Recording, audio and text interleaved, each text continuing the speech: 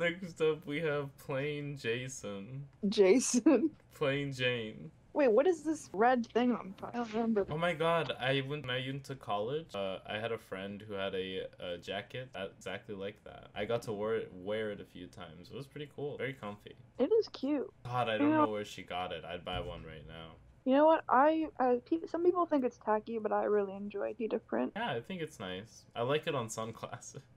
And I don't know, I like her whole vibe. Authentically Russian. We get some Ru- Russian representation. Big boobs, big butt, small waist. I mean, what can I say? I'm eating this. I'm eating this as well. The silhouette is on point.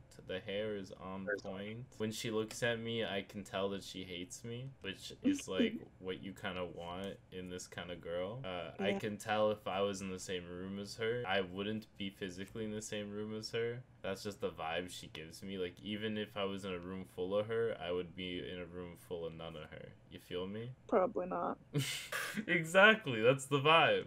The vibe is she doesn't want to be in the same room as you or anybody because Mhm. she thinks she's the queen bee. She wants to be in a room full of herself.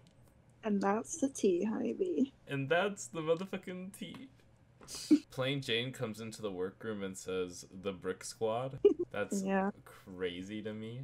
I mean, she says that she's the trade of the season. Do you agree with that assessment? I think she's pretty hot. Yeah, the hottest though. I guess we'll have to see next week when everyone is together. Yeah. okay. Uh, thank you. Do you have anything else to say about Plane Jane? No. Thank you, Plane Jane.